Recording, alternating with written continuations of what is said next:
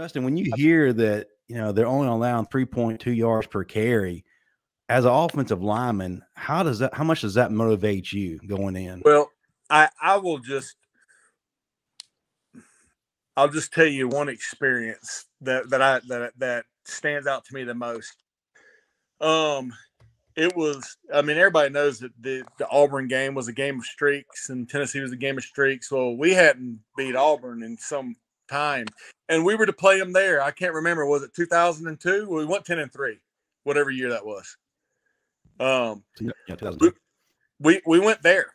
We went there and Auburn, what I mean, it might have been like something two something yards of carry, not even three yards of carry. They were allowing on the ground.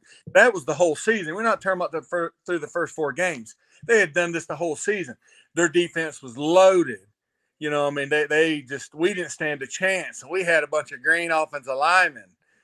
And I don't know if you remember or not, but Santonio, we talked about it. Santonio, we went off on them. Um, I I look at it as a challenge.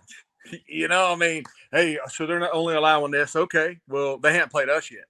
You know, that's my mindset. Mm. And that's the bottom line because Stone Cold said so.